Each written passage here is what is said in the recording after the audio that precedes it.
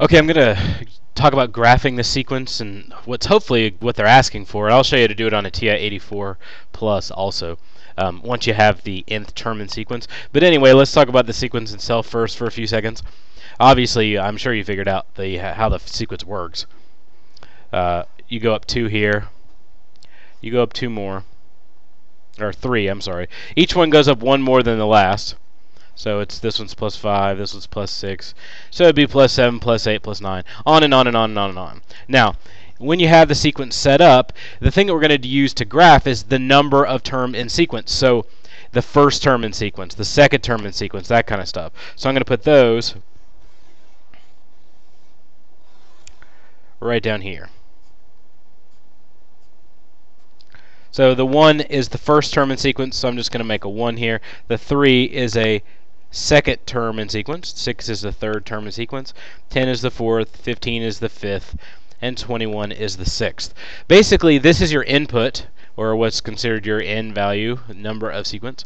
And these are your outputs. So anytime we have to set up graph like scenarios where we have an x and y coordinate, you put your inputs in as the first term, or the x value is what we usually call it, and then the y's would be your outputs. So we're going to make coordinates 1 and 1, 2 and 3, 3 and 6, 4 and 10, 5 and 15, 6 and 21. So we can make uh, a graph now of dots anyway. It doesn't actually work where you uh, we're going to go all the way up because it's these are um, not a line. It actually makes just dots there. So we're going to make sure we'll make a dot for each one. So I'm going to go to 1 and 1 down here you don't even need this part. You don't need negative x or y because none of these happen to go negative because it's a it, it, it increases over time. I can't talk today. I'm sorry. Uh, and the x's you can't have a zero term in sequence or a negative one term in sequence. It's kind of sequence doesn't work that way. So you go to one and one and make a dot. Then two and three. Then three and six. Right in here. And then uh, four and ten right there. 5 and 15 in this general vicinity. And then you'll have 6 and 21, which is way up here. So like somewhere in this neighborhood. So you can see it's not equal. It doesn't work that way. But that's how you draw sequences just based on the points. Also, you can do it in the calculator if you have the nth term in sequence. The nth term in sequence would be the uh, little equation you would use to plug in to get any value. So say I needed the 50th value. If I can make a statement about the first few terms, generally I can come up with a generic statement, and that, of course, is the nth term in sequence. In this case, if you work it a little bit, you'll find out that the nth term in sequence is n plus 1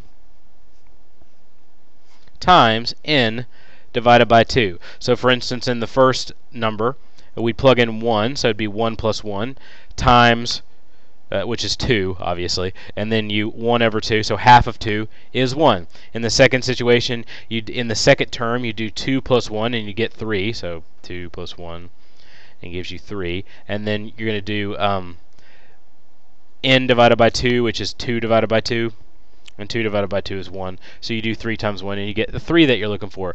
In the next one, you do 3 plus 1, and then 3 on top of 2, and if you do 3 plus 1, you get 4. 4 times 1.5 or 3 halves is 6. So this is the nth term in sequence right here. Now, if you have the nth term, you can graph it in a calculator on your TI-84, if you have one. I just picked whatever I thought was the most generic. You want to go into mode. It helps if you turn it on. So you want to turn it on. Uh, you want to go into mode and then go down to this line. If you want to graph sequences, and by the way, if you want to graph lines again, you need to go back over here. But if you want to graph sequences, you just go and hit enter on that button. Then you can click out. Go to y equals, and you'll get this little setup here. Uh, usually you keep your x min at 1 because the first term in sequence is probably when the sequence starts. If it starts somewhere else, you can change it. Um, the use of n here, that would be your, if you have multiple sequences, you have to adjust for it, but in this case there's only the one. So I'm just going to do um, this button plus 1 and then that divided by 2, or you can use the fraction set if you like, so it knows that it's supposed to be whatever it is. It would help if I'd hit the correct button, wouldn't it?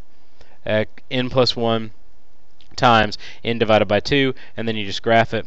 And it makes a nice little graph for you up in the corner so that you can see it. But that's how you graph sequences um, from small amounts of information on paper to larger ones if you have the nth term rule. So I hope I'm helpful. If not, just let me know and I'll try again. So good luck.